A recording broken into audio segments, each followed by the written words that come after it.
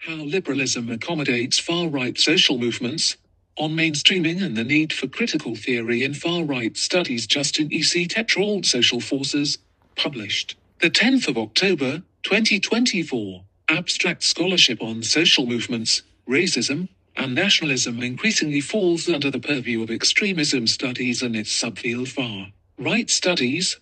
Prominent extremism scholars have developed generalist theories purportedly explaining far right politics and power dynamics, or mainstreaming across liberal societies. They define far right as illiberal politics promoting dehumanization, exclusion, and inequality. Their theory of mainstreaming suggests that the far right is a coherent entity that enters mainstream institutions or discourse from the outside. For these scholars, strengthening liberal civic principles prevents far right political power, mainstreaming. I call these approaches grand theory templates, which I critique for simplistic interpretations of power, and for overlooking critical theory scholarship, showing how liberalism accommodates far right politics. Using the Canadian nationalist movement as a case study, I show how liberal chauvinism can be crucial to empowering right wing populist movements. My data include over 40 hours of participant observation at 20 right wing events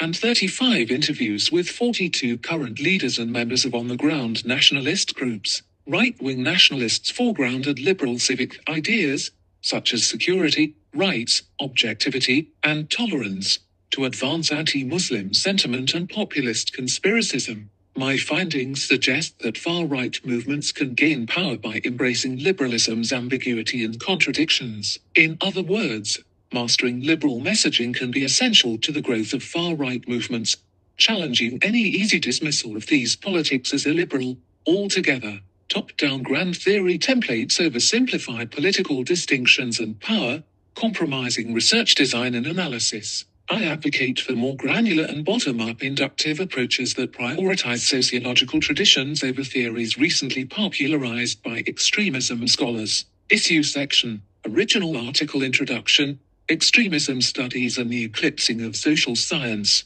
studies of conservatism, social movements, political power, and nationalism are increasingly subsumed under the extremism studies umbrella and its related subfield far right studies, while these fields are interdisciplinary and encompass diverse topics and approaches.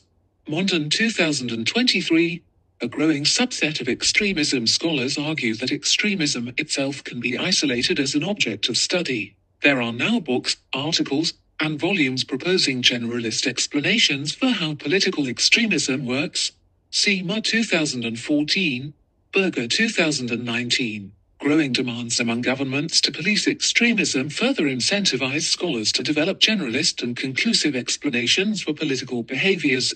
Ellen Gillian Taylor 2020, Tetrault 2022. Building on this momentum, extremism scholars such as Mudde 2019, Miller Idris 2020, and Pirro 2022 have proposed grand theories of far right politics and their mainstreaming allegedly applicable across westernized countries. This extremism scholarship is increasingly influential for how we understand and study contemporary politics and power. Allegedly and Taylor 2020. These generalist approaches, however, eclipse rather than synthesize diverse fields of social science. In this paper, I borrow from critical theory and social movement studies to show how generalist theories can confuse our understanding of far right movements, and right wing populism in particular. Extremism scholars broadly define far right as dehumanizing politics allegedly opposed to liberal democratic values and institutions, or what they term the mainstream. For them, the far right is a political other that enters or infiltrates mainstream discourses and institutions, a process they call mainstreaming.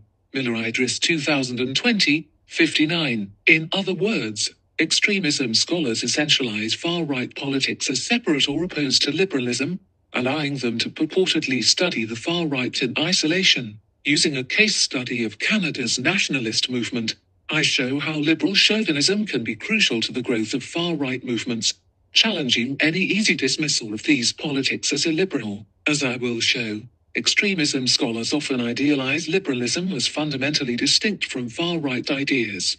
This premise ignores critical theory literature demonstrating liberalism's symbiotic relationship with far right and dehumanizing politics. Premised on a false dichotomy liberal versus far right, the concept of mainstreaming is largely unintelligible and no substitute for rich sociological traditions covering power, social movements, and social change. I conclude that far right studies should prioritize more open ended theoretical frameworks rooted in established sociological traditions over the fixed and neat templates recently popularized by extremism scholars. This article relies on data collected from 2016 to 2020 on Canada's nationalist or yellow vest movement, including over 40 hours of participant observation at 20 right wing events and 35 interviews with 42 current leaders and members of on ground nationalist groups. In this study, participants marry liberal civic ideas, such as security, rights, democracy, objectivity,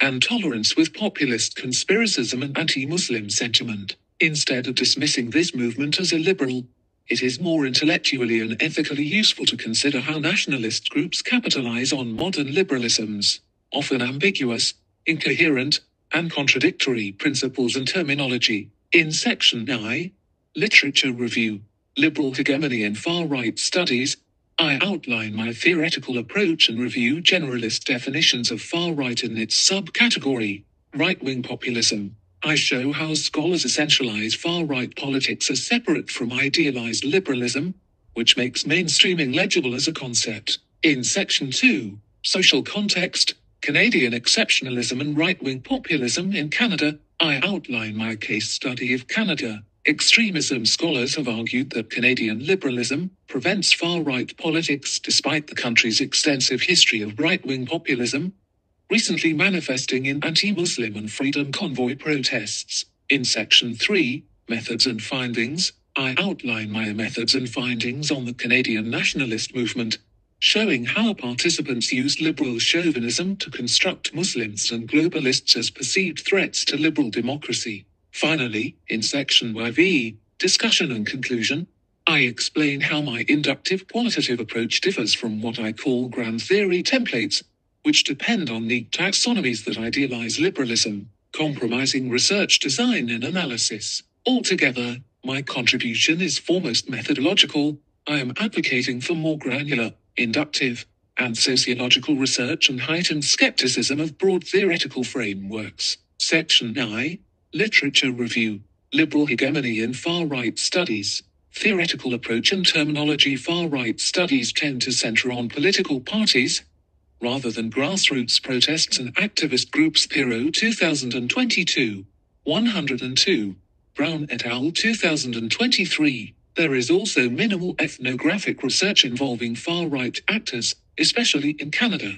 Due to this limited knowledge, my study uses an exploratory qualitative approach prioritizing inductive analysis in local context. In other words, I develop theories and concepts through empirical attention to context and social interactions to minimize assumptions about my sample population. For example, I conceptualize the ideologies of my participants and their organizations by accumulating and assessing qualitative data in the form of interviews and participant observation. While this approach complicates grand theories, it does not reject them altogether.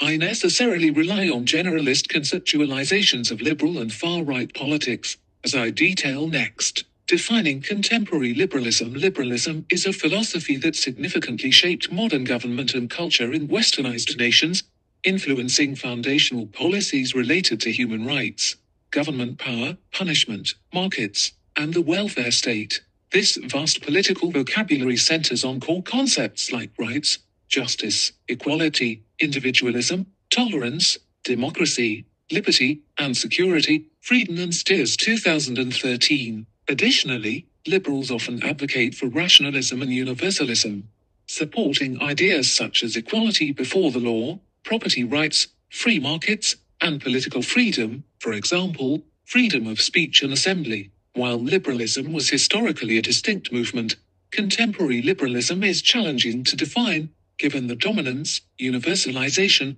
and contestation of its ideas and their increased abstraction from lived experiences. Freeden and Stears 2013, 344. Much of today's political discourse involves attempts to wield liberal hegemony by controlling its language. Freeden and Stears 2013, 330. Social theorists have critiqued liberalism from a leftist perspective under the umbrella of critical theory, most notably using Marxist, feminist, decolonial, and critical race approaches. Scholars developed critical theory in the Frankfurt School in the 1920s to understand and critique the rise of fascism and other forms of oppression. In short, critical theory shows how dominant institutions and power relations, often assumed by the layperson to be natural or common sense, can marginalize groups and cause harm. For example, Bonilla Silva's 2014 Racism Without Racists Influenced My Approach. That book outlines the rise of colorblind racism in liberal democracies, referring to people claiming not to see race, denying how history and racial inequality impacts life chances. Other critical theory I draw from includes Brown's 2006 Critique of Liberal Tolerance Discourse and Billig's 1995, Theory of Banal Nationalism. I also borrow from critical theorist Axel Honneth, 1996, 2007, to assess how grand theories impact research design. Finally, my analysis borrows from social movement studies theory, such as Snow and Benford's, 1992, social movement master frames, and from scholars who have explored liberalism's role in right wing politics, such as Orwell 1946, Berntzen, 2019, comma, Sibley, 2023, Huey, 2012, Ella Gillian Taylor, 2020, McCluskey, 2019, Landa, 2012, Mondon and Winter, 2020, and Braun, 2024. It is beyond this paper's scope to assess debates about how liberalism ought to be defined and practiced. My study concerns how activists capitalize on liberalism's ambiguity and hegemony. Dominant theories of mainstream stroke I'm do not capture such nuances, and I consequently do not use the terminology. Instead, critical theory and social movement studies include analyses of power more robust and precise for assessing social movement dynamics and growth, defining the far right, right wing populism and extremism. This study broadly concerns right wing nationalism, an orientation promoting a country's perceived traditional national values and culture. These actors defend their imagined national identity by accusing deviant cultures or ideologies of causing social problems, such as the idea that Islamic ideology causes terrorism, gender ideology harms children, or that black or indigenous cultures cause crime. Right wing nationalists also admonish people promoting globalism in academic discourse globalism is nearly synonymous with globalization, as the increasing interconnectedness of people across the world. In right wing politics, however, globalism refers to a political ideology that allegedly puts international institutions ahead of the nation state. Stack 2016. Some argue that the preceding politics constitute a novel national conservatism movement, while more research is needed on this development. These ideas have arguably influenced conservatism throughout modern history and may represent a conventional right wing reaction to contemporary developments, such as increasingly globalized societies. Abrahamson and Williams 2023. Altogether, right wing nationalism plays an important role in establishment conservatism, but can manifest in extreme or far right politics seeking to challenge social norms. Dutch political scientist Cas Mudde's 2019, 25, widely accepted definition represents far right as an umbrella term encompassing two subcategories right wing populism and extremism. Populism is a rhetorical strategy and discourse where political actors construct or emphasize antagonism between the elites and the people and claim to represent the latter. Mudde and Kaltwasser 2017, 5 1. Populism can also be understood as a thin ideology that complements thick political ideologies Mudde. And Kaltwasser 2017, 6. I use these basic definitions in my case study of the Canadian nationalist movement, where groups constructed populist narratives through thick right wing ideologies of globalism and nationalism. Adherents of right wing populism, henceforth RWP, widely express skepticism or hostility toward public institutions and may see themselves as anti establishment. in contrast to traditional or moderate conservatism, which typically holds institutions in high regard. Extremists typically refer to overt fascists or neo Nazis, whose beliefs overlap with the basic premise of RWP, such as racializing the people as white and elites or globalists as a Jewish cabal. Generalist theories of far right politics can be a useful starting point for studying political movements. My critique concerns over theorizing, where scholars overgeneralize the qualities of rightist social movements, such as presupposing the beliefs or motivations of political actors prior to study. Extremism scholars now propose theories of mainstreaming to explain how rightist ideas gain power across the social world. As I explore next, grand theories often rest on the dubious premise that far right politics are separate from liberal democracy, liberalism, and far right studies. Drawing distinctions, right wing populism is ethno-nationalist Hunger and Paxton, 2022, and Stavrakakis et al., 2017, found that experts often conflate populism with the extreme right, such as ethno-nationalists. 421, De Cleen and Stavrakakis 2017, see also conflation by Perry et al., 2018, 69. Prominent theorists also foreground ethno-nationalism as a defining feature of RWP. Arguably the most popular academic definition of RWP comes from Mudde, 2019, who argues that the ultimate goal of the populist radical right is an ethnocracy, meaning a democracy in which citizenship is based on ethnicity. It wants to recreate this monocultural state by closing the borders to immigrants and giving aliens a choice between assimilation or repatriation. 27. Wodak, 2015, similarly characterizes ethnocracy as RWP's ideal imaginary. 27. Scholars use ethno-nationalism to differentiate RWP and extreme racism from the liberal or civic center, suggesting an ethnic versus civic nationalist dichotomy. Civic nationalism, a liberal view of nationhood, suggests that the nation should consist of individuals united by a political creed, transcending factors like race, ethnicity, and religion. Historically, scholars characterized the good nationalisms of Western Europe as completely civic, liberal, and democratic, contrasting the bad Eastern nationalisms as ethnic, irrational, and authoritarian, dubbed ethnic nationalism. George 2019, 7. Many scholars use the concept ethnic or ethno-nationalism to represent RWP as deviating from, if not antithetical to, civic nationalism. Arkaman, 2003, argues that for the populist radical right, the people in populism refers to ethnos rather than demos.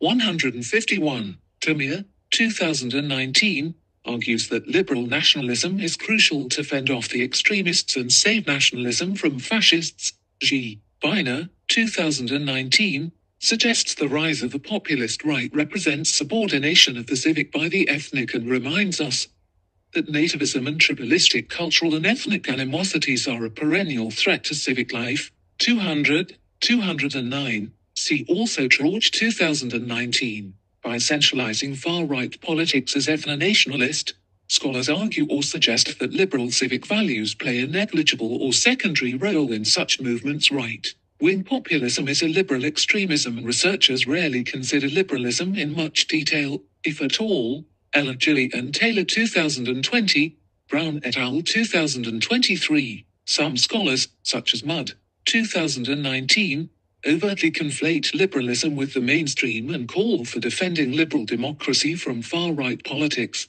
179. See also Miller Idris 2020, C. L. Gilly and Taylor 2020's critique. In short, prominent scholars argue or assume that RWP is inherently illiberal. See also Moffitt's 2017 critique. As Berntzen, 2019, observes, writers often characterize right wing groups foremost as movements of exclusion, defined by their intolerance rather than what they support, epitomized by labels such as anti immigration, anti gay, anti communist, hate group, etc. 29. See also Tetrault 2021b. Prominent scholars essentialize RWP as illiberal due to the belief that promoting exclusion, hierarchy, dehumanization, inequality, intolerance, or ethno-nationalism opposes liberalism. See Miller Idris 2020, 6, Laruelle 2022, Berezin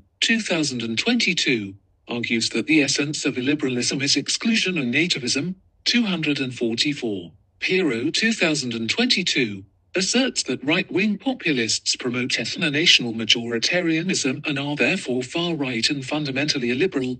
5. See also Blocker 2022, 267. Mudde 2019 opens his influential book The Far Right Today by stating that this book is not concerned with the so-called mainstream right, such as conservatives and liberals stroke libertarians, but only with those on the right who are anti-system, defined here as hostile to liberal democracy. 15. Emphasis added. Mudde 2019 implies that far-right politics, RWP and extreme racism, as per his definition, oppose mainstream politics and liberalism. See also Mudde 2019, 28, 29, Mudde 2007, 5. Moffitt, 2017, offers more nuance and advances the concept of liberal liberalism, referring to how political actors selectively use liberal ideology to defend an ultimately illiberal position. 114. See also Pappas 2019, 65. Moffitt, 2017, defines illiberalism as exclusionary and asserts that scholars cannot seriously call right wing populists liberal 118. Altogether, widely accepted theories of RWP suggest that these politics are distinct from the liberal civic center, implying that ethno-nationalism, exclusion, dehumanization, inequality, and intolerance are inherently illiberal. However, scholars often tell rather than show. Few empirically demonstrate how RWP movements diverge from or intersect with liberal politics and institutions. Making mainstreaming legible extremism scholars increasingly offer explanations of mainstreaming of far right politics, despite minimal attention to what mainstream or mainstreaming means. Brown et al. 2023, Miller Idris, 2020, describes the mainstreaming of extremism as a process whereby previously extreme ideas become normalized as part of the acceptable spectrum of beliefs within democratic societies. 46. For Miller Idris, 2020, the extreme ideas of the far right are illiberal ideals promoting exclusion, hierarchy, and dehumanization. 6. She argues that mainstreaming involves far right actors smuggling extreme ideas into mainstream society by softening their violent underpinnings. 46, 47, Mudde, 2019, does not define mainstreaming but posits that RWP represents a pathological normalcy where mainstream ideas are radicalized or taken to an illiberal extreme. 73, 109, 112. Altogether, theories of mainstreaming derive their substance from vague political abstractions that typically idealize liberalism. Ella and Taylor 2020. Put another way, the idea of mainstreaming is only legible if we accept that the far right and mainstream are separate and coherent entities. See also Blee et al.'s 2024 critique. In other words, for extremism scholars, far right politics are a political other that purportedly enter liberal institutions from the outside. Miller Idris 2020, 59. See also Berger's 2023 Lawful Extremism. When used carelessly, mainstreaming is a repackaging of the concept power into a vague and overly broad framework. The study of power and its related sociological tools, hegemony, social norms, institutionalization, power knowledge, and deviance has rich traditions across sociology, political science, philosophy, criminology, and social psychology, among other disciplines. In short, mainstreaming of the far right is too crude to universally explain right wing political power across liberal democracies. This sweeping terminology increasingly overshadows inductive research seeking more detailed and nuanced analyses of political power. Scholars of critical far right studies, such as Brown et al., 2023, also use the mainstreaming term, which they define as follows the process by which parties stroke actors, discourses, and or attitudes move from marginal positions on the political spectrum or public sphere to more central ones. shifting what is deemed to be acceptable or legitimate in political, media and public circles and contexts. 170. Here, Brown et al. 2023. Present mainstreaming as a critical theoretical model for analyzing how liberal actors and institutions can empower far right politics. See also Vitek 2024. This approach is useful for assessing broad power shifts, but less tailored for studying more micro level or bottom up social processes and power relations, such as audience meaning making and political agency, how people come to acquire right wing beliefs. Consequently, I analyze the political dynamics of my case study using social movement studies and other critical theory approaches altogether, while critical scholars are improving analyses of far right power.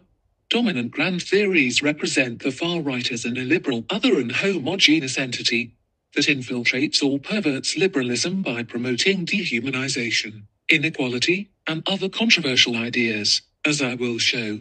This premise idealizes liberalism and is too simplistic for studying modern politics. Section 2 Social Context Canadian exceptionalism and right wing populism in Canada. Canada is, perhaps ironically, the ideal context for showcasing how generalist theories of far right politics confuse our understanding of political movements. Grand theories heavily imply or state that upholding liberal civic values discourages far right sentiment. By this logic, far right politics should have minimal influence in emphatically liberal nations like Canada. Indeed, Canada is widely celebrated for its liberalism. Prominent writers have argued that Canada's championing of liberal principles, especially tolerance and multiculturalism, is a safeguard against the xenophobia and cultural chauvinism of RWP movements. Extremism scholars such as Ambrose and Mudde, 2015, for instance, declare an absence of RWP in racist movements in Canada, arguing that federal multiculturalism and Canada's political culture prevents far right politics. Perry et al. 2018 similarly argue that RWP in Canada is Trumpism, which will fail because the Canadian public is averse to the kind of cultural chauvinism and xenophobia expressed by Trump and the alt right. 67. These arguments reinforce what social scientists call Canadian exceptionalism, a national myth portraying Canadians as morally superior, which manifests in the country's political climate and policies. Lipset 1990, Cooper 2017. An empirical assessment of Canada's historical and contemporary political culture, however, challenges these arguments. RWP movements have influenced establishment conservatism throughout Canada's history. The most prominent RWP movements were the Social Credit, 1935 to 1993, and Reform, 1987 to 2000,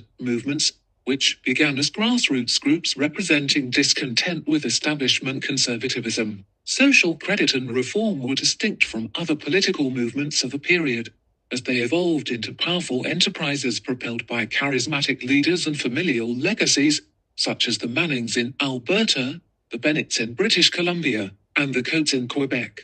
These leader centric movements later formed federal political parties. See Harrison 1995. Conservative parties absorbed movement figures, the most famous being Stephen Harper, a founding member of the Reform Party of Canada who later became Prime Minister from 2006 to 2015. The Harper government embodied penal populism and introduced an omnibus crime bill in 2012 which critics argue criminalized poverty and dramatically increased incarceration rates for indigenous peoples. Newell 2013. They also aggressively expanded anti terrorism laws and, in 2015, proposed a police hotline for reporting barbaric cultural practices. Barber 2015. Canadians have also expressed RWP aligned opinions over the last decade. Polling suggests that roughly half of Canadians hold anti Islam attitudes and increasingly express criticisms of immigration. Todd 2014, Reid 2017. Other polls suggest rising belief in conspiracy theories and growing distrust of institutions and experts. Elliott 2019, Proudfoot 2019, Weber 2019, Anderson and Coletto 2022. Canseco 2019, Stokes 2022, Canada also received international attention for the Freedom Convoy protests in 2022. The convoy movement opposed COVID 19 restrictions and was among the largest political protests in Canadian history. Preston 2022. Activists mobilized populist rhetoric by representing average Canadians as victims of corrupt elites of the medical establishment Gillies. Et al. 2023. Roughly 40% of Canadians were sympathetic of the protesters, and Canadians donated millions to the convoy's GoFundMe. Turnbull 2022. Bricker 2022. RWP attitudes are also evident in the election of Pierre Poilievre as leader of Canada's Conservative Party. Media and experts regard Poilievre as a populist for frequently admonishing elites and promoting World Economic Forum conspiracy theories. Canadian Press 2023, Gillies et al. 2023, Aziz 2023. Extremism scholars argue that far right politics in Canada are foremost a foreign aberration, that Canadian liberalism will expel or render absent.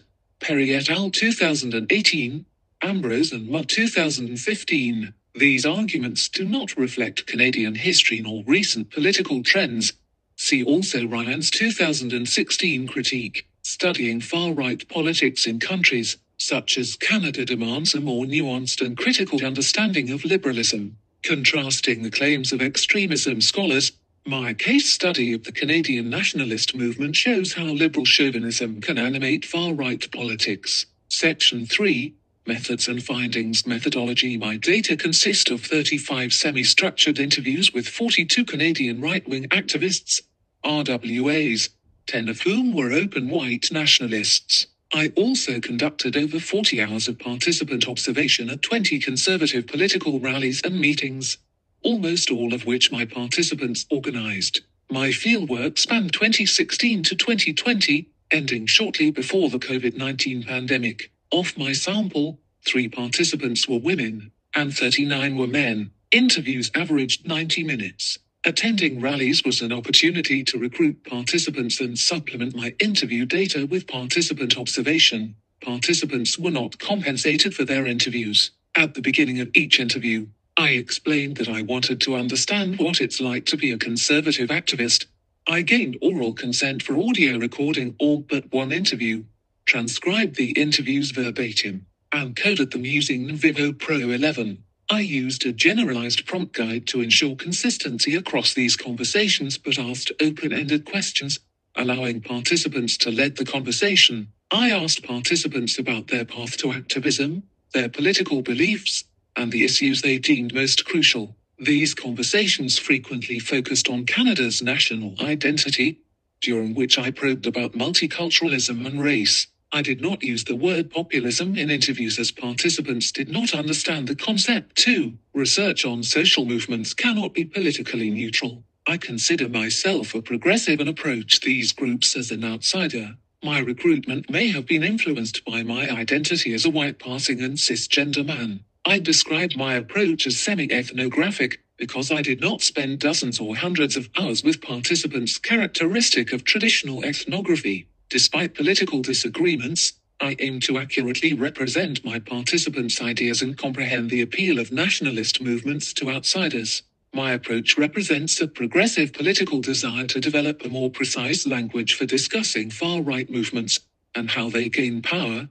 Pilkington 2019 35. Ethnographic approaches have various limitations. For instance, it is impossible to know whether participants were being truthful. This is not an issue given my focus. First, my participants were generally candid about their controversial beliefs. As other researchers have found, instead of concealing their beliefs, even the most extreme racist activists often rationalize or moralize their politics, such as exclaiming, I don't hate Group X, I'm just a race realist. Swain 2002. Second, I am not interested in what my participants truly believe, but how they make far right politics palpable to outsiders, of which I am a part. Another limitation of ethnographic approaches concern generalizability. I conducted my fieldwork in Canada's most conservative province. My participants' statements, therefore, may not reflect right wing sentiment across Canada. However, The purpose of my study is not to develop a general theory of the Canadian far right,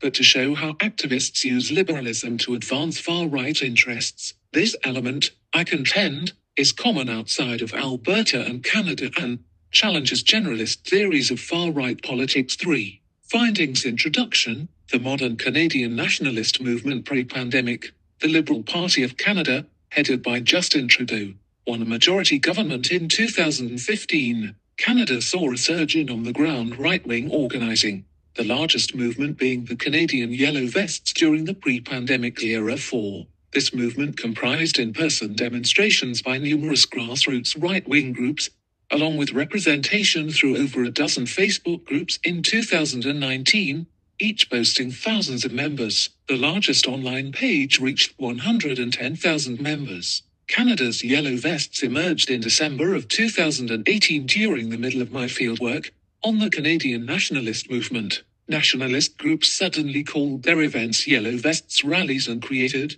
or renamed, social media pages Yellow Vests Canada or similar iterations of that name. Rally supporters donned fluorescent safety jackets, said to represent hard-working, average, and forgotten Canadians fighting against powerful elites exploiting the country for their own benefit. In short, Canada's Yellow Vests were an aesthetic rebranding of existing nationalist groups representing people across the right wing spectrum, including liberal conservative viewpoints and neo Nazism. Following the COVID 19 pandemic, Yellow Vests leaders, my participants among them, shifted focus to anti vaccine and anti mandate organizing leading to the Freedom Convoy protests that occupied Canada's capital streets for weeks. See Gillies et al. 2023. I am guided by the following question How do right wing nationalist organizers and supporters in Alberta construct populist rhetoric?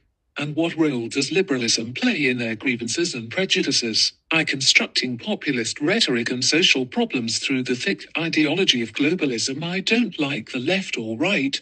It's not about left or right. You're either a globalist or a nationalist. Gary, organizer and yellow vester, despite internal conflicts in the Canadian nationalist movement, participants united in diagnosing the core problem in Canada as the government's alleged promotion of globalism in right wing politics. Globalism refers to a political ideology whereby people put international interests ahead of the nation, state, stat 2016. For my participants, Nearly all social problems were traceable to incompetent, ignorant, corrupt, or evil people advancing globalism using their positions of power. They labeled people who promote globalist ideology as globalists. 5. My participants viewed progressives and liberal voters as sympathetic to or duped by globalist interests, and sometimes used socialism or communism synonymously with globalism. RWAs connected nearly all political grievances to globalism, Globalists promote green energy because it empowers governments and international organizations. Globalists encourage mass immigration for cheap labor, disadvantaging Canadian workers. Transnational social media companies cancel conservative viewpoints to silence critics of globalism. Globalists support out or corrupted mainstream media to propagate globalist ideology, which participants colloquially referred to as fake news. Homelessness is partly a result of globalists prioritizing refugees and immigrants over struggling Canadians. Globalists encourage diversity, race conscious politics, and gender ideology to divide and weaken Canada's collective spirit.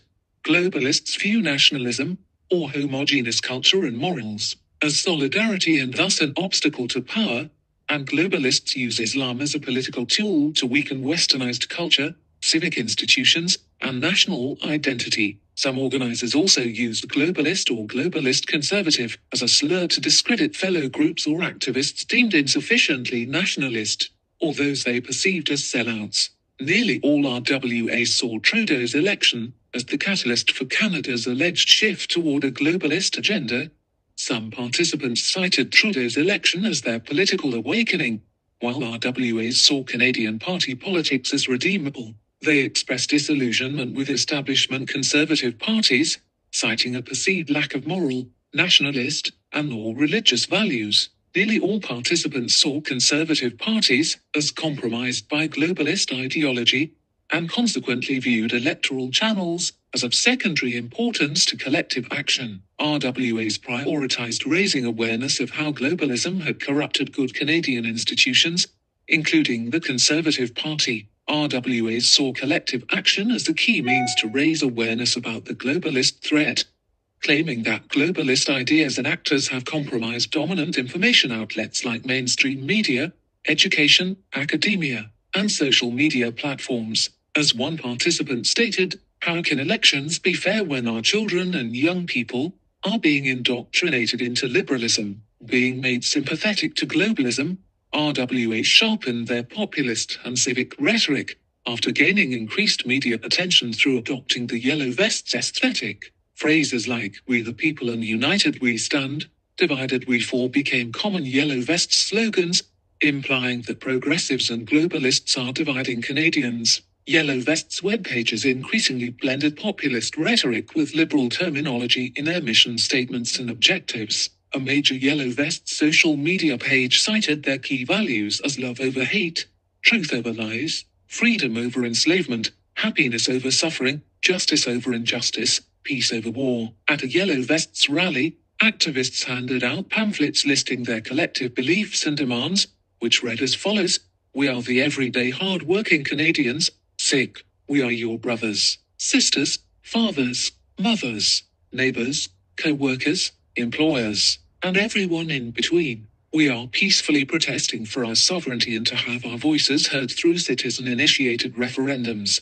Our purpose is to educate and bring awareness to every Canadian about how our way of life and our country is being threatened. Our sovereignty is being stripped. Our veterans and seniors' lives have deteriorated and their voices ignored by our government. Our energy sector has been robbed and increasing taxes makes it difficult and dangerous for regular Canadians. We want to unite all Canadians. We want to involve all Canadians. We shall not be divided by political allegiances, race, religion, ethnicity, creed, generation or any other discriminatory division or lifestyle choices, comma. We are a grassroots movement. We are peacefully protesting for our sovereignty and to have our voices heard through citizen initiated referendums. We are tired of corrupt governments and their repression. This movement is about freedom, inclusivity, unity and empowerment. Emphasis in original, comma. We also seek to grow as a country with the implementation of referendums initiated by citizens. Until these policies have been fulfilled satisfactory to the people of Canada, we the people of Canada shall make our voice heard. United we stand. The movement's populist rhetoric foregrounded democracy, which participants often equated with self determination and sovereignty. In other words, by putting foreign and moneyed interests ahead of Canada, globalist elites like Trud. These narratives prompted Alberta organizers to focus more on local issues toward the end of my fieldwork, such as the 2019 Alberta general election. Altogether, RWAs saw themselves as raising awareness about powerful elites imposing their interests on the people. This populist rhetoric animated the Canadian nationalist movement. In the following section, I explore how activists combined populist ideas about globalism with civic nationalism. II. Canadian civic nationalism, or liberal chauvinism, tolerance and civic ideology as Canadian identity. Most RWAs struggle to define Canadian identity and culture. Nonetheless, nearly all participants embraced a conventional and civic interpretation of Canadian identity, emphasizing principles such as freedom, security, and most of all, tolerance. See Brown 2006. Ideas about tolerance and intolerance significantly shaped RWA's view of Canadian nationhood and its perceived threats. Eric joined the Christian right wing movement after moving to Canada in the mid 1990s, quickly becoming an influential figure. He emphasized how tolerating differences defines Canadian identity. We are all different. We agree to disagree. In other words, we tolerate. That's Canadian identity, I would argue. The freedoms, the Charter of Rights and Freedoms clearly states the whole Constitution that you are free to be different. You are free to believe differently than your neighbor. You're free to have certain values that your neighbor may not understand. That's the identity of Canada, RWAs, connected being Canadian to tolerance, including ideas such as politeness, kindness, civility, acceptance, and openness. Consequently, most RWAs accepted the basic tenets of multicultural philosophy, sharing the Conservative Party's interpretation of multiculturalism as a belief that anyone can succeed regardless of their cultural background or immutable characteristics. Under the guise of neutrality, RWAs believe that Canada should be racially colorblind and tolerate diversity and differences, but should not promote, uplift, or subsidize certain groups. For RWAs, progressive politics that acknowledged racial inequality, such as protecting Muslims from hate speech, investing in indigenous communities, or addressing anti black racism in Canada, are a kind of ethnic favoritism and are therefore racist, resembling Harrison's 1995 findings on the Reform Party, 176. Some participants label these efforts radical multiculturalism or liberal racism. RWAs also applied this rationale to gender and sexuality, asserting that institutions should not elevate certain lifestyles. In short, RWAs viewed equality as achievable through neutrality or objectivity, that is, without acknowledging differences, history, and structural inequality, especially not through policy. In their view, tolerance maintained a peaceful Canada, which was being disrupted by progressive ideology. Perhaps ironically, tolerance discourse informed how RWAs demonized certain groups. See Brown 2006. RWAs romanticized Canada as a historically utopic society that intolerant and divisive subcultures were destabilizing. Corey, for example, imagined Canada as a peaceful, apolitical, and tolerant society that globalist politicians were undermining. Yeah, Canadian values for me are ones of acceptance, you know.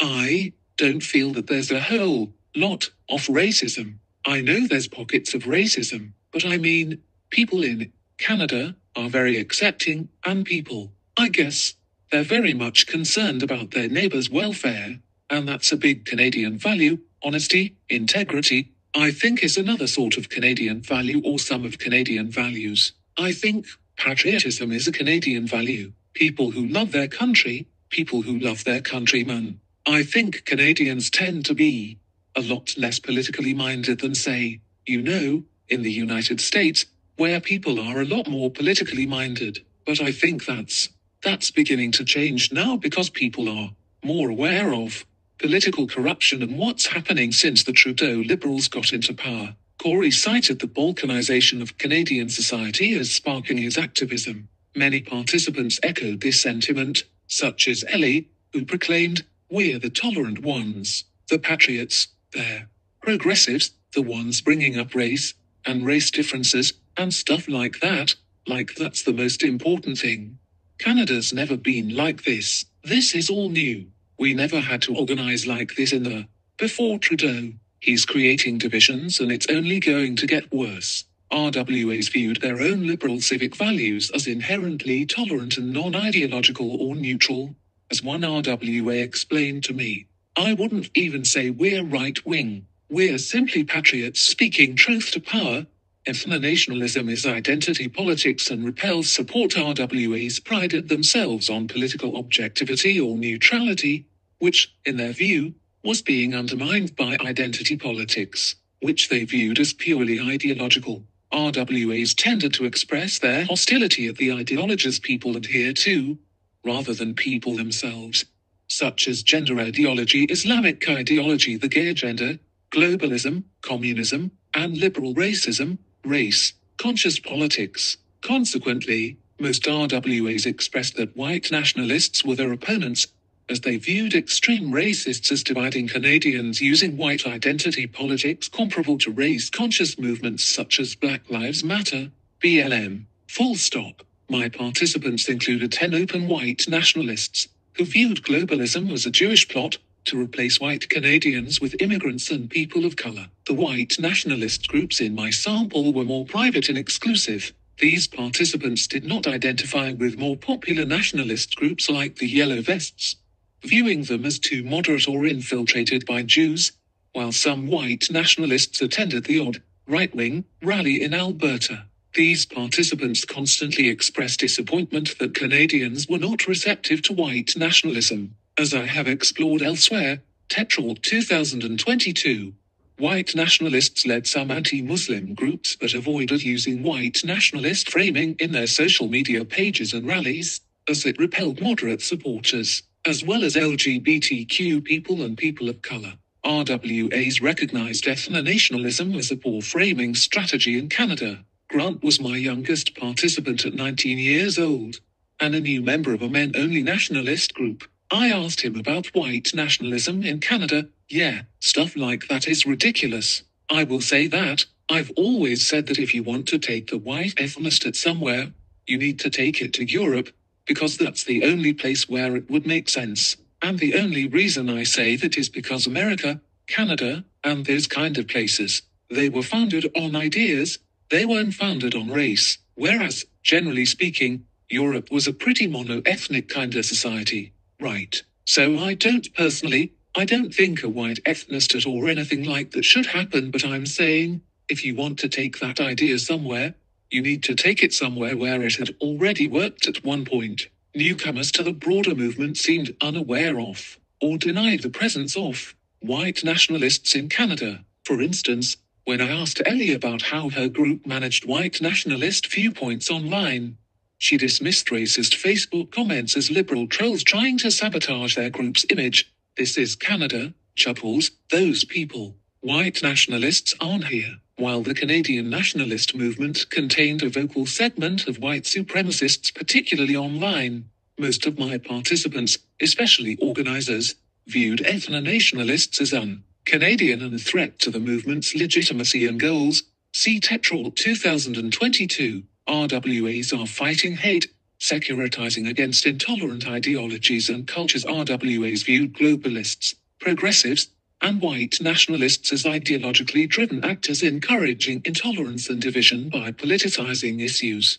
RWAs explained how leftist groups, such as Antifa and BLM, were the real hate groups or real extremists, using identity politics to stoke hatred between different groups, such as between white Canadians and Indigenous peoples, police and black Canadians, and between the two genders, RWAs also viewed progressives as intolerant of conservatism, Jews, police, and Christians, but overly tolerant of globalism, Islam, and criminals, among other groups. Some RWAs emphasize the Prime Minister's hatred of average Canadians, as Bernard outlined. You heard of Justin Trudeau's statement saying that evangelical Christians are the worst part of Canadian society.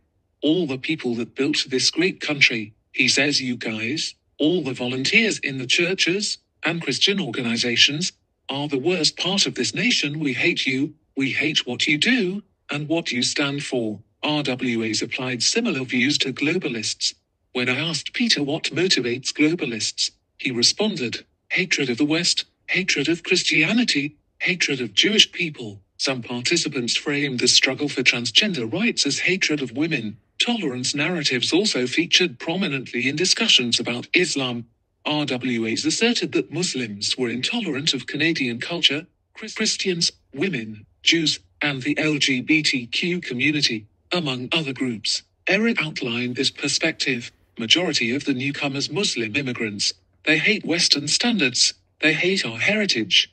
They hate what this nation stood for, and they do not want to integrate. You've got newcomers from nations that hate what we stand for, and they will never integrate. They have no desire to integrate, is emphasis. That's why multiculturalism, that way, through policy, is not working in the European countries. It will never work. It's impossible. Because you're mixing two totally, two different values together, commanding them, through law, to respect each other, while they hate each other. They cannot live in peace with each other. Islam says that there will never peace unless all the Jews will be destroyed and all the Christians submitted. So how can those two values work together? Here, RWAs connect a tolerance discourse to another core liberal value, security. In other words, RWAs represented their intolerance of Islam as a rational, objective, or common sense response to the alleged threat that Islamic ideology posed to women, Jews, LGBTQ people, and Canadians generally. Participants also used and stroke tolerance narratives for political boundary work, using concepts like hate group to distance their views from the perceived real hateful racists. For nearly all my participants, hate racism, misogyny, anti Muslim, and anti gay prejudices could only manifest in overtly hateful statements and criminal acts, such as hate crimes and hate speech. Eric, for instance, regularly collaborated with far right groups while running an anti gay church. He viewed his organization as outside of the hate group label. When asked about working with other far right groups, Eric explained that he would not collaborate with hate groups. Well, always, I'm a Christian. I disagree with every group that entices hate, and I don't care which group. It can be hate against Muslims or hate against homosexuals, transgender. Any hate, you see, hate, will never bring love. If you put hate to hate, it will create a bigger hate. No, I believe that only love, and the freedom to express that love can change human beings. Hate will never achieve that, so I disagree with any form of hate. I will speak, I will disagree with your lifestyle, I will say I disagree with Islam because it's based on hate. I will disagree with your ideology, but I do not hate the Muslims. Emphasis added. Despite their expressed commitment to free speech, many RWAs supported Canada's hate speech laws. Most participants shared Grant's view that Canada's hate speech laws should be applied across the political spectrum. Far left and far right both hate Jews. That's the basic idea. Corey provided a longer explanation. Our hate speech laws have worked. You know, people that have denied the Holocaust, for example, to add another layer of sort of anti Islamophobic law makes no sense whatsoever, because you've already got, in my opinion, some of the strictest hate laws in the world. While some RWAs supported hate speech laws when used against real racists such as neo Nazis, they also expressed concern that their common sense anti Muslim sentiment and political incorrectness could soon be labeled hate speech. Summary Liberal chauvinism and the Canadian nationalist movement. My findings suggest that the Canadian nationalist movement gained momentum and growth due, in part, to RWA's foregrounding liberal or civic principles in their messaging. During events and interviews, Participants primarily expressed nationalist grievances through civic or liberal platitudes such as securing the border, keeping the public safe, love over hate stroke intolerance, protecting Canadian sovereignty, promoting freedom, speaking truth to power, fighting oppression, and protecting the rights of Canadians, as a more specific example. RWAs stereotype Muslims through the language of tolerance and public safety, referring to Islam as an oppressive and hateful ideology that opposes diversity and promotes extremist violence. For RWAs, Islam is incompatible with tolerant and peaceful Canadian culture and poses a security risk to the country. See also Brown 2006, McCluskey 2019. Perhaps ironically, RWAs also emphasized colorblind ideology Bonilla Silva 2014. My participants deemed themselves the true anti racists, arguing that race cognizant policies uplifting or protecting certain groups creates inequality through ethnic favoritism. RWAs also tried distancing themselves from extreme racist elements within their movement by portraying white nationalists as the true extremists or real racists, labeling them un Canadian for dividing people using identity politics. RWAs also married liberalism with populist conspiracism. For RWAs, globalists represented a tyranny of the minority and an existential threat to Canadian human rights, national sovereignty, and democracy. For example, participants often expressed how self interested media elites, such as people running the CBC or Facebook, undermine freedom of the press by propagating pro globalist fake news. That is centrist or progressive views. They also accused online platforms of attacking freedom of speech through policing disinformation and hate speech, such as racist social media posts. In short, my participants viewed liberal democratic institutions as fundamentally good, neutral, and fair, but believed they had been corrupted by ideological bad actors. Put another way, RWAs tended to reduce politics to personal responsibility, attributing nearly all social problems to moral failings by individuals and groups, especially people promoting globalism or divisive ideologies or cultures. Section YV Discussion and Conclusion Discussion, a critique of grand theory templates. In this section, I explain how my inductive qualitative approach differs from what I call grand theory templates in far right studies. The grand theories popularized by extremism scholars are more than ideas or definitions. They are templates that structure the research process. Dominant grand theory approaches encourage speculation and dogmatisms that avoid the complexity, precision, and critical analysis necessary to explain modern politics. Altogether, scholars risk compromising their research design and analysis should they rely on the neat taxonomies demanded by such approaches. I advocate for a more bottom up and granular approach to studying politics and power. Inductive qualitative approach, bottom up and open ended theorizing. My research uses an inductive strategy. I attempted to minimize assumptions about my participants' politics and motivations, including the notion that nationalist groups can be easily isolated from Canadian liberalism. My analysis of the Canadian nationalist movement prioritizes themes that became prominent through data collection, rather than fitting my data into existing grand theoretical frameworks. However, grand theories are still necessary. I rely on broad theories of populism, far right politics, and nationalism to contextualize and analyze my case study. I also borrow ideas from critical theory to analyze Canadian liberalism and social movement studies to analyze my participants' collective actions. These frameworks also inform my analysis of power and hegemony. Put another way, I assess the political visibility and influence of my sample using an interdisciplinary approach, engaging theories of power, and by situating my findings in local political contexts. Altogether, this approach refrains from making definitive statements about far right politics and power, choosing instead to complicate our understanding of such movements by embracing nuances and being open to surprises. What insights do my approach and case study offer our understanding of far right social movements? Social movements are an assemblage of fluid ideologies and interests, with specific political framings rising to prominence as activists capitalize on political conditions. See also et al. 2024. My findings suggest that Canadian nationalists mobilized broader support in Alberta through developing a master frame that resonated across the broader Canadian right. Snow and Benford 1992.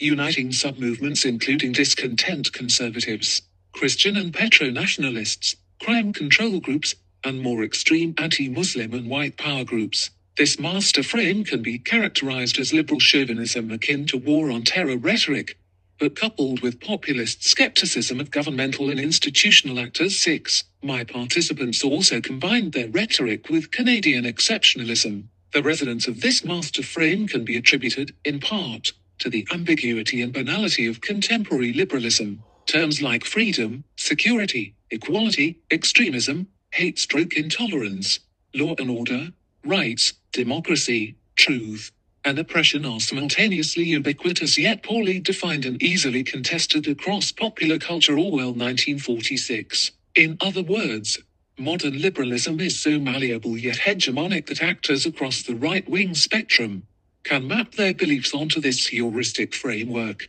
Moreover, civic terminology is so familiar that, for some onlookers, it can appear neutral, depoliticized, awarding such ideas greater power. Billig 1995. This is evidenced in how RWAs represented their beliefs as objective or common sense, while describing their political opponents, such as BLM, progressives, Muslims, and Antifa, as ideological, extremist, biased, emotionally compromised, intolerant, or agenda driven. Indeed, the right wing mobilizing of common sense arguably draws its power from the familiarity and comfort of liberal ideas. The populist rhetoric of RWAs was also marked by ambiguity, featuring vague or inconsistent interpretations of elites, the people, globalists, etc. In short, the Canadian nationalist movement gained broader appeal by leveraging familiar civic liberal language vague enough to accommodate diverse and contradictory right wing grievances and prejudices. See also Preston 2023. Grand Theory Templates, a critique of top down, over, Theorizing my critique is directed at scholars proposing grand theories of RWP as external or opposed to liberalism. 7. These scholars represent far right politics as a political other that infiltrates liberal democracy to gain power. What might a grand theory approach offer our understanding of Canada's far right groups? Using this template, Mainstreaming of the far right occurs when illiberal politics breach mainstream institutions, or when liberal ideas or policies are made illiberal by far right actors. Mainstreaming can also happen when people prioritize ethno-nationalist over liberal civic values. From this perspective, liberalism prevents dehumanizing and exclusionary politics. A far-right actor's use of liberal ideas is always illegitimate, insincere, or a perversion of liberal philosophy. Using this formula, far-right groups in Canada represent an illiberal movement attempting to undermine Canada's liberal civic values. Their liberalized messaging represents no more than a moderate veneer, concealing my participants' true ethno or white nationalism. In this analysis, the increased power, support, or visibility garnered by Canada's nationalist movement, known as mainstreaming, is the product of illiberal activists deceiving liberal audiences, who ostensibly do not share the same political values. Another interpretation using this formula is that mainstream values have radicalized. By 2019, 112 Canadians have become more illiberal and thus more inclined to support far right ideas. While the preceding framework can arguably generate useful insights, it also restricts lines of inquiry. It suggests that politics can be neatly categorized and oriented around threats to liberalism. Indeed, the legibility and substance of grand theory templates hinge on alleged distinctions between far right versus the mainstream, liberal versus illiberal, civic versus ethno-nationalist, and moderate versus extremist or radical. We should not assume that such dichotomies are valid or useful for analyzing politics and power. For instance, the framing of mainstream values radicalizing Mudde 2019 is too sweeping and vague. Applying this to my case study suggests that Canadian culture or government policies today are further right compared to the Harper era years of peak tough on crime and war on terror sentiment. Another plausible, though equally vague, interpretation could be that Canadians are becoming more progressive, and an active far right movement indicates people seeking recognition not reflected in the mainstream. Honneth 1996. Put another way, the sudden visibility of far right politics does not mean that such ideas have gained more prominence and influence across society. Power dynamics require study and debate. By compartmentalizing far right politics as ethno nationalist, illiberal, or extremist, grand theories problematically presume the ideas, motivations, meaning making, and goals of political actors in advance of study. Whereas social movement studies encourage us to view political movements as a complex and fluid assemblage of competing ideas, motivations, and interests, a grand theory template essentializes the far right as a monolithic political bloc motivated to undo liberalism, whereas critical theory prompts us to question liberalism and be mindful of how our language and research can perpetuate liberal hegemony a grand theory template suggests that moderate expressions of civic principles or liberalism by far right actors are fraudulent. This template suggests that only illiberalism radicalizes.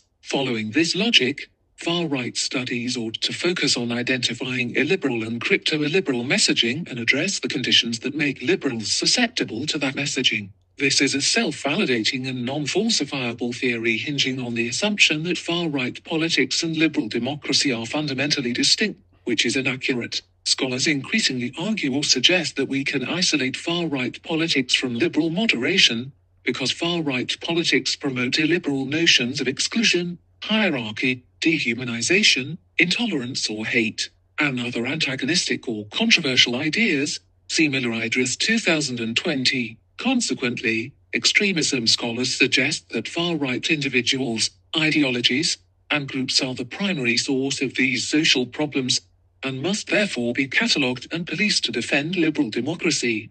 See also Vitex 2024 overview. For these scholars, the liberal democratic mainstream, by definition, is unsullied by such illiberal far right values. Critical theory and research, however, demonstrate an extensive history of liberal democratic institutions and policies dehumanizing, excluding or discriminating, and maintaining or establishing hierarchies and inequality, from overtly racist policies such as the Jim Crow laws and Indian termination policy in the United States to the Indian Act and residential schools in Canada. More recently, Criminologists widely agree that mass incarceration in countries like the United States and Canada is not only dehumanizing and exclusionary, but also reproduces hierarchies and inequality by discriminating against poor and racialized populations. See Alexander 2010, Chartrand 2019. As a further example, it is arguably impossible to separate the dehumanization, intolerance,